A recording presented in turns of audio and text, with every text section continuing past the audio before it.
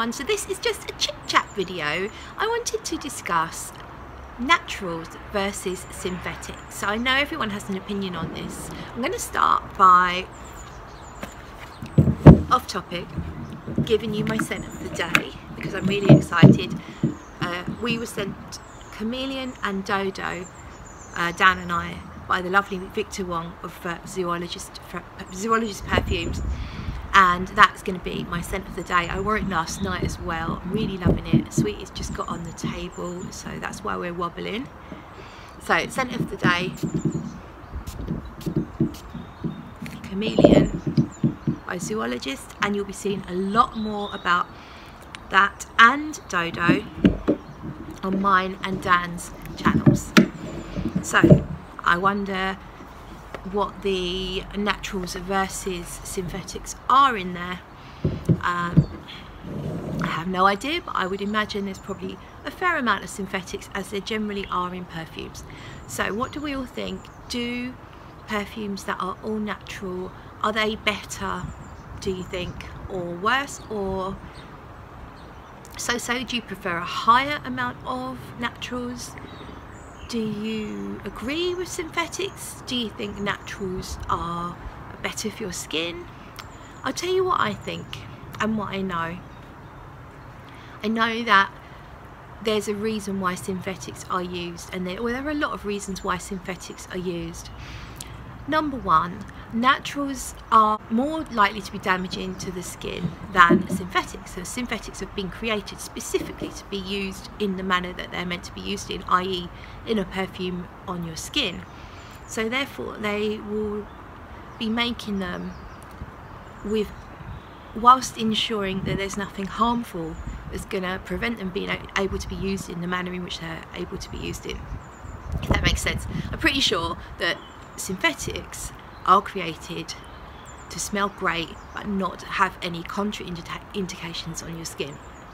Naturals on the other hand can be very damaging to the skin. So for example, a lot of the citrus naturals they can cause your skin to be more reactive because they're quite acidic so it's not good to have a high level of natural citruses on your skin. Lemon is very, very acidic. It's not good for your skin. You have to dilute it quite a lot before you really want to be letting that touch your skin.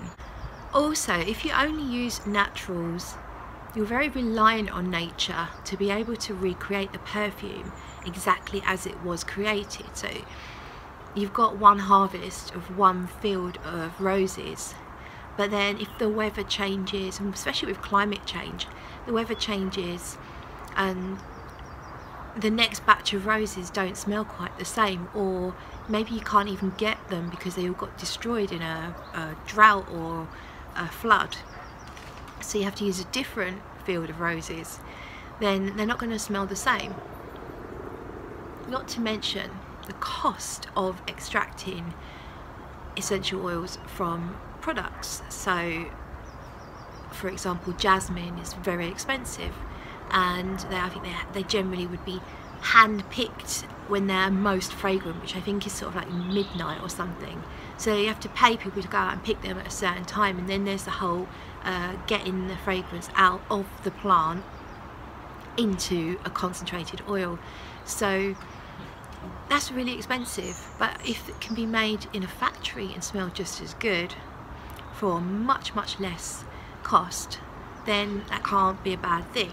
But I think we all we all like the idea that we're wearing something very very special. It's nice to know that your perfume contain, contains real orris butter because we know that that's one of the most expensive ingredients you can possibly have. That may be real oud. Um, Narcissus Absolute even the even the rose extracts are very very expensive. Uh, vanilla Absolute apparently the cost has just gone like crazy through the roof just because of certain conditions and, and you know how rare it is and how hard it is to actually get. So if a fragrance smells good but it's mostly synthetic, is that a problem? Would you still rather wear a natural fragrance? I personally prefer I like to know that there's some good natural ingredients in my fragrances. That does make me feel good about it. You know, if I know for a fact that there's a real Madagascan vanilla, it makes me feel a little bit good, you know. Um, but at the same time, I'm quite happy to wear a fragrance that's a little bit cheaper, that's made from cheaper ingredients, if it makes me happy and I smell really good and I enjoy it. So, the reason for this conversation is because Sarah McCartney from 4160 Tuesdays, along with Christy Long, who runs the Facebook group Oh My Soul, are collaborating on something which I think is amazing and is really going to showcase whether there is any difference or not between naturals and synthetics. So they're creating a fragrance called Clouds and they're actually creating two versions. There's one called Clouds and there's one called Clouds Illusion based on the Joni Mitchell song both, both Sides of Love I think. I've looked at love from both sides now. I think it's that one. Anyway, there's this backstory behind it and I'll link the video that Sarah McCartney has done on it and if you want to find out more go and join Oh My Soul on Facebook. But what's happening is there's going to be two versions. One is going to be made with all naturals, so you're going to get the real Orris butter, the real Narcissus Absolute, and you're going to get real Vanilla Absolute. It, or you can choose to have Clouds Illusion, which is made with the synthetic Orris, Narcissus, and Vanilla. But what they're doing, which I think is amazing, is whatever you choose, you have a sample of the equivalent so if you choose to buy the cheaper synthetic option, you're still going to get a sample of the fragrance that's got all the naturals in it. If you choose to buy the more expensive option, you're going to get a sample of the one with the synthetics in it. So you can compare them yourself. I mean, it's genius. I'm totally getting on board. It's a crowdfunding thing. You have you place your order now. I think you've got probably a few weeks to do so, and it, the fragrance should be with you around June time. The notes sound amazing. As I said already, you've got Narcissus, Orris and Vanilla. I think there's hay and I can't remember the other notes but each and every single note is something that I love in a fragrance so I'm absolutely getting on board. What I'm doing is I'm actually going to Paris tomorrow with Dan and I'm planning to be a little bit spendy. I'm going to see what, what money I've got left after that and I'm going to buy the cheaper the synthetic version because I'm tight. But check out uh, all the links I've chucked down in the description box below.